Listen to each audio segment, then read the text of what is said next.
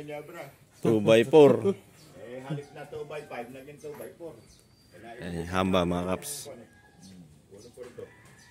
Kami nung kwan Jimmy Lina. yung hamba nung pintuan namin doon, puro, puro ganyan. Kaya kung naman kami, si Kuya Eli pa nun, si Kuya Eli nagpagawa. Kaya nga lang, 2x4 lang. Hindi ba? Na mulawin. Dapat pala 2x6. Oo. Good for her. Puro mulawin.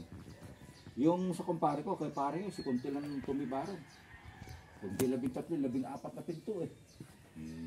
Hamba, tsaka takip. Mulawin. Oo, oh, puro mulawin. Yung atang iba, balsa mo na, kakanin ko yan, kaya mo na ka. Hindi naman Ay, mabango po yun. Oo, Yung hindi- balsa mo. Oo, Hindi naman alam pa ako ni paring yun. Alam din niya ka ako yung mulawin. Yung mulawin. Alam, malikot. Malikot. Libutin mo ngayon yun. Malikot. Oh. Abayin, nangagsapi na ng ganun eh. Pinarepair na niya.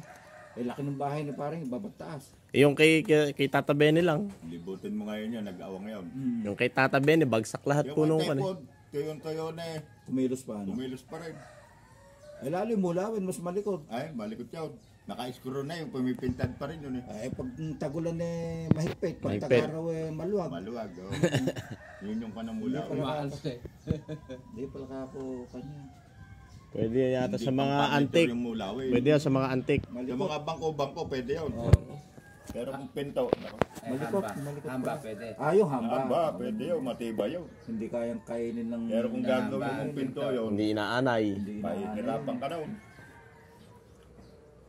Sa hamba lang siya, ano. Nahamba eh. Hamba, yun. napakagaling. Nananariwa pa ata sa Eh, kanya. hindi ubra yung hindi ubra yung yakal daw. Oo. Yung mulawin. Maski yakal, malikot. Yung sa Yakal, pamangkin ko, yung yakal naman yung kanya, ganun din. Pagka nabilad po yan, umabot pumapalipit. Ayaw na umabot to si Radurang. Umato- Ay, di ba naman ito ika? Eh, kinakantsawan ko, eh, yakal kasi kaki binili mo eh. Pag hardwood kasi kung ano, pumapalipit. Ayun, mali- malikot. Malikot. Napakalikot ng mga ganun pala, yung mga kung alin Malikot matitigas na kahoy. Kalikot. Yung nara nga eh, kaganda na yung may ikot, may li- lumilikot din yun. yung Nara. Pero pagka kiln dry, Ay, ayun, mo. maganda. Ah, basta. Kaya, maski Jimmy Lee na ngayon eh, mahal eh. Kinikinray din ni Jimmy Lee. Oh, magandang i-kiln dry po yun. Yung, Kaya lang, titistisin mo muna. Kasi yung pagka ini- kinindry mo ng tablon, umiipit na talim yun, umiikom. Ah, ganun ba? Oo, umiikom. Kaya kailangan yung natistis na sa natistis, tsaka i-kiln dry. Eh, pag kinindry mo ng tablon yun, umiipit sa talim yun. Kaya kamahal na din mag, yung mga sa kabanatuan na Jimmy Lee ng furnitures na Mahal na rin daw. Napakaganda po kasi ng Milina. Kindray, kindray, mga kindray yan, ika alang kilos na yan, ika naman sa'yo. Saka hindi po malikot yung Milina. Wag, basta ano lang siya na natuyo. laman. Na, ano lang. Huwag lang yung ma... Yung, yung basang-basa, yung bagong putol. yung Yun. mulmol. Yung himulmulen. Tsaka pag magulang, Hmm. may ano po kasi na kon eh, pagmura. Yun, yun, yun yung ma- mahimulmol. Mahimulmul yun. Mahimulmol. Ano ko napakarami pinatistis na Jimmy Lee na ba yung Frankie ando sa yung kinunan niyo sa likod ng kwan.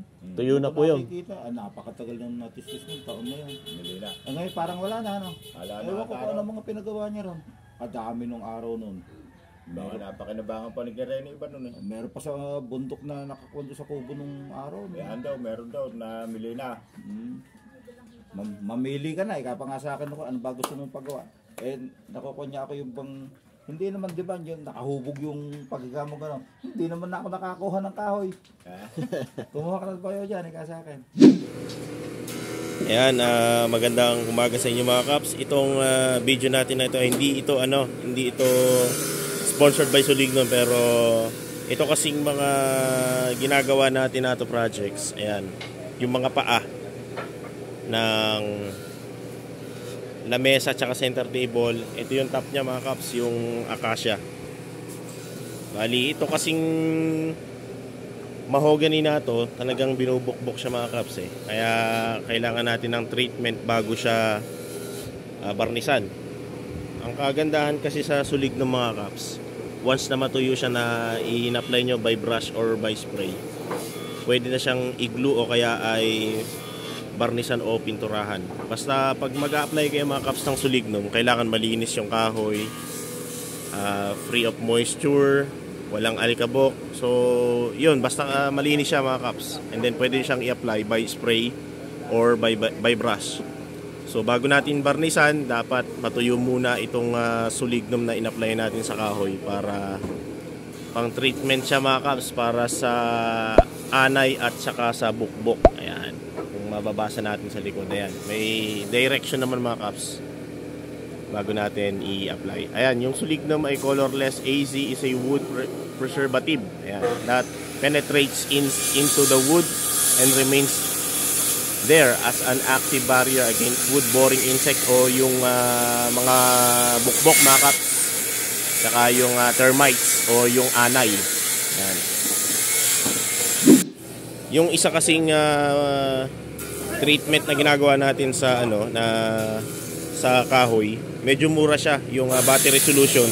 Ang problema lang niya mga kaps kapag ka ipinahid nyo siya dito sa katulad nito mahogany, nagkukulay violet. Kahit sa Milina, nag-iiba yung nagdi-discolor yung ano niya, yung kahoy.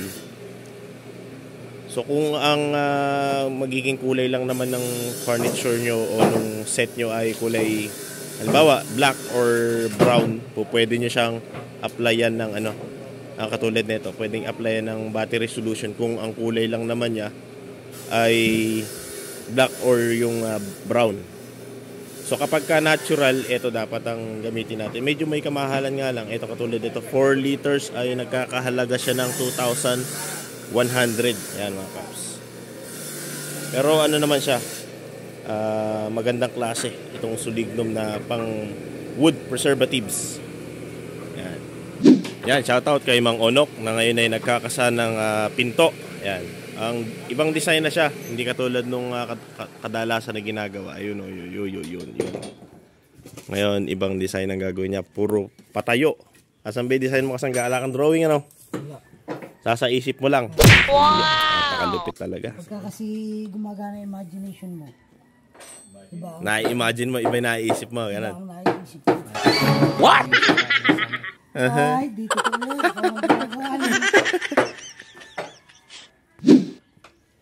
Bakit? Masyadong malaki yung kain? Maliit. Ay, maliit. Nagtatagal ano. So, yan yung adjuster nung ah, jointer natin. Oh. Yeah. Tuka.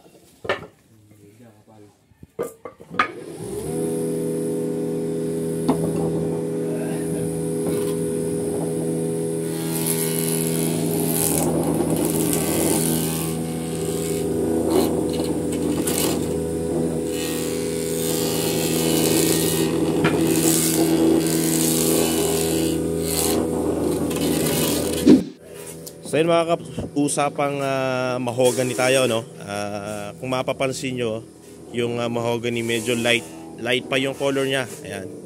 Pero habang tumatagal kasi yan mga kaps, nagiging orange yung ah, yung dating niya. Lalo kapag ka nabilad sa araw. Tingnan nyo yung uh, tinetable dito ni Mang Benro. Ayun mga kaps. Yung nagiging kulay niya kapag ka nabilad sa araw. Ayan. Pero once na ma-table siya, naglalight ulit yung kulay niya. Medyo reddish orange yung dating ng kahoy mga kaps. Ayun o, yung table niya. Ba light siya mga kaps?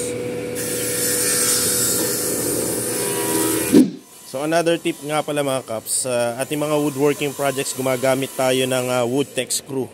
Ang size nito mga kaps ay didos or 2 inches yung haba. Ayan ano.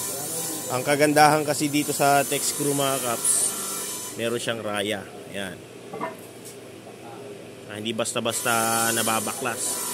Bali ito yung gagamitin natin sa paglalagay nung top nitong ano, lamisita at saka nung mga lamesa na yon.